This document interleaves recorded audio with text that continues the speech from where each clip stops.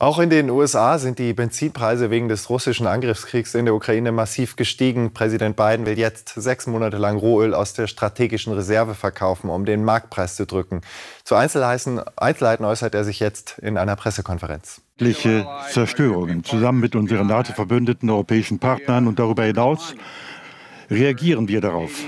Wir helfen dem ukrainischen Volk militärisch wie wirtschaftlich und haben die härtesten Wirtschaftssanktionen gegen Russland, die es je gegeben hat, verhängt. Deshalb schaden diese Maßnahmen der russischen Wirtschaft ganz beträchtlich und lindern das Leiden des ukrainischen Volkes. Aber Putins Krieg hat auch Folgen für Amerika und unsere Verbündeten und Demokratien überall auf der Welt. Ich möchte heute einen Aspekt von Putins Krieg ansprechen, der real auch das amerikanische Volk betrifft. Die Preissteigerungen, die wir an den Tankstellen überall erleben in den USA und weltweit. Viele Familien haben mit diesem Preisanstieg wirklich zu kämpfen ihre Familienbudgets, um tanken zu können, dürfen nicht davon abhängen, ob ein Diktator einen Krieg erklärt. Ich habe also einen zweiteiligen Plan beschlossen, nicht nur um den Familien bei ihren derzeitigen Nöten zu helfen, sondern auch um Unabhängigkeit zu schaffen und Sicherheit zu gewährleisten, was die amerikanische Energieunabhängigkeit angeht. Stellen Sie sich vor, wenn Russland nicht auf Russisch, wenn Russland nicht sein Öl und Gas verkaufen müsste, wenn Europa nicht abhängig wäre von Russland. Es gibt hier zwei Wurzeln des Problems. Zuerst einmal die Pandemie. Als Covid-19 kam, ist die Öl- und Gasnachfrage weltweit zurückgegangen. Die Produktion ging ebenfalls zurück. Die Nachfrage nach Öl ist dann aber jetzt mit einem Mal deutlich höher angestiegen als das Angebot. Die Gas- und Benzinkosten sind im letzten Jahr in die Höhe geschnellt. Die zweite Ursache ist Wladimir Putin. Heute sind die Energiepreise in vielen Bundesstaaten der USA deutlich höher. Mehr als ein Dollar mehr müssten wir zahlen in gerade einem Monat wegen Putins Krieg. Viele Menschen kaufen weltweit kein russisches Öl mehr. Ich habe ja ebenfalls Verbote für den Kauf russischen Öls und russischer Energie verhängt. Und und im Kongress haben wir Unterstützung gefunden. Das war auch der richtige Weg. Aber ich habe damals schon darauf hingewiesen, das hat seinen Preis. Wenn russisches Öl auf dem Weltmarkt nicht mehr da ist wie bisher, dann werden die Preise zwangsläufig steigen. Jetzt treffen diese Preisanstiege auch die Amerikaner an den Tankstellen und das führt mich zum ersten Teil meines Plans. Um das Ölangebot zu steigern, erhöhen sich erst einmal bei uns die Preise wegen der von Putin verursachten Situation. Wenn wir also die Preise senken wollen, dann brauchen wir jetzt auch mehr Öl im Angebot. Wir haben jetzt seit Jahren eine einmalige Gelegenheit erhalten. Wir können viele brachliegende Möglichkeiten jetzt nutzen, neue Bohrlöcher aktivieren und dergleichen. Das amerikanische Volk äh, kann auch einige Ersparnisse durch Preissenkungen an den Tankstellen einstreichen, durch unsere Maßnahmen. Oder manche nutzen die Situation aus, sie lehnen sich zurück, stecken Gewinne ein, während die amerikanischen Familien kämpfen müssen. Dies ist ein gefährlicher Augenblick für die Welt. Und die amerikanischen Familien leiden an den Tanksäulen, auch in der Zeit der Patrioten. Ich danke den Firmen, die heute schon angekündigt haben, dass sie ihre Produktion sofort steigern möchten. Sie investieren, um mehr Öl zu fördern. Und auch saubere Technologien sind nötig, um unsere Ölabhängigkeit künftig zu vermindern. Wir müssen hier helfen, nicht im Wege stehen. Und diese Firmen tun das. Sie werden eine Million Barrel Öl pro Tag wahrscheinlich schon ab dem Herbst zusätzlich produzieren. Das ist Fortschritt. Aber einige Firmen ziehen nicht mit. Sie möchten nicht mitmachen, weil sie mehr Gewinne einstreichen können durch die gestiegenen Öl- und Gaspreise. Manchen ist es anscheinend auch egal, ob der Preis auf 200 Dollar pro Barrel steigen kann. Ich muss sagen, damit ist genug. Diese Politik muss aufhören. Es geht nicht um das Einstreichen von Gewinnen bei Investoren, während das amerikanische Volk, während die ganze Welt zuschaut. Die Ölfirmen haben 80 Milliarden an Gewinn letztes Jahr eingestrichen und die Gewinne werden weiter steigen. Jetzt ist es an der Zeit, hier einzugreifen für das Wohl des Landes, für das Wohl der Welt. Hier muss investiert werden in die sofortige Produktion, damit wir Wladimir Putin antworten können, damit wir auch den Kunden helfen können. Ich bin Kapitalist. Ich habe kein Problem damit, wenn Unternehmen gute Gewinne erzielen. Aber Firmen müssen weiterdenken, nicht nur an ihre Aktionäre. Sie müssen auch an die Kunden und an ihr Land denken. Niemand darf eine Pandemie oder die Maßnahmen von Wladimir Putin nutzen, um amerikanischen Familien zu schaden. Wenn Gewinne in die Produktion und Innovation investiert werden, ist das der richtige Weg.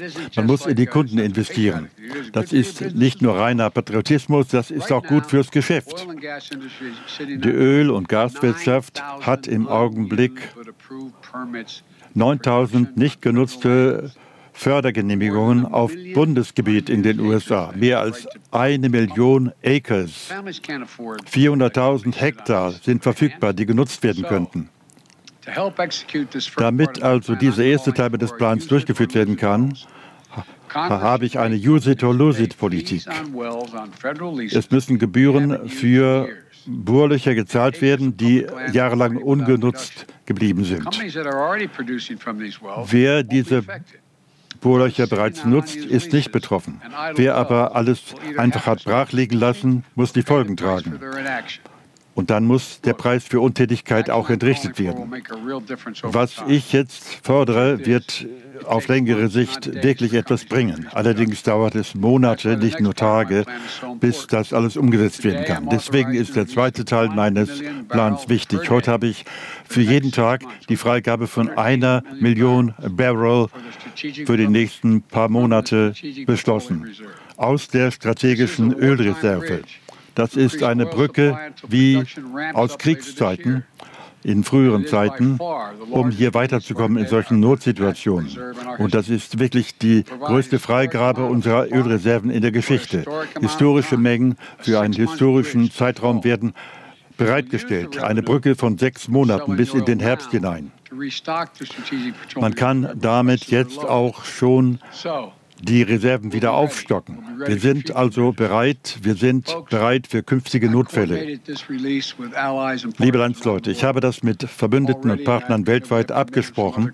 Wir haben auch Zusagen anderer Staaten bekommen, die Dutzende Millionen weiterer Barrels auf den Markt werfen werden. Unsere kombinierten Bemühungen werden für jeden Tag mehr als eine Million Barrel zusätzlich liefern. Putin kann seine Energieressourcen nicht gegen amerikanische Familien oder Demokratien weltweit als Waffe einsetzen. Der erste Teil meines Plans betrifft die sofortige, die augenblickliche Krise. Im zweiten Teil geht es darum, dass wir langfristig amerikanische Energieunabhängigkeit verwirklichen können, damit wir das Problem nie wieder bekommen. Wir und die ganze Welt müssen unsere Abhängigkeit von fossilen Brennstoffen ganz abschaffen. Wir müssen langzeitig Sicherheit erreichen in diesem Bereich. Wir müssen uns verstärkt um saubere Energien bemühen mit unseren Verbündeten und Partnern auf der ganzen Welt. Und das können wir auch tun, indem wir meinen Plan jetzt im Senat durchziehen, auch im Kongress ein Plan, der seit einem Monat vorliegt, damit dieser Übergang in eine saubere Energiezukunft ermöglicht wird. Made in America, aus Amerika kommt das alles, für amerikanische Werte und Möglichkeiten. Wir müssen alle Instrumente nutzen, damit wir von unserer Abhängigkeit von fossilen Brennstoffen uns lösen können. Wir müssen mehr saubere Energien bekommen.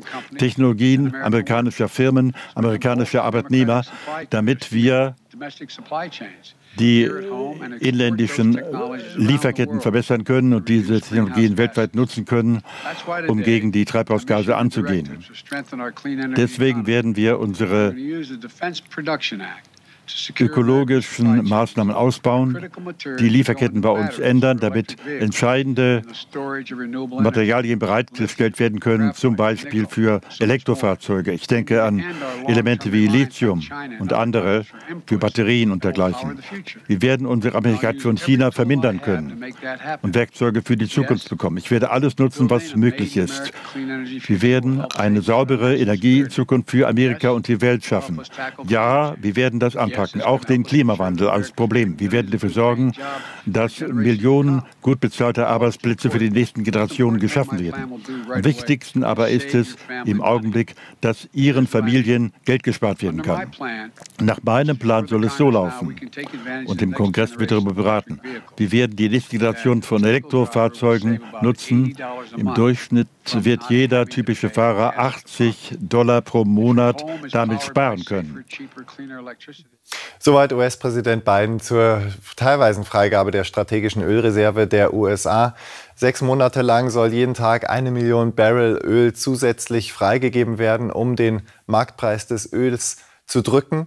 Ähm, Präsident Biden ist sehr patriotisch aufgetreten. Er hat neben diesem Plan auch einen weiteren Plan langfristig genannt, etwa 9000 Bohrlöcher in den USA sind ungenutzt und die sollen jetzt genutzt werden. Unternehmen sollen dazu über eine Art Strafgebühr quasi gezwungen werden, dass mehr Öl gefördert wird. Biden betonte aber auch, dass ganz langfristig eine, ein ökologischerer Einsatz von Energien, der Gewinn ökologischer Energien im Fokus steht.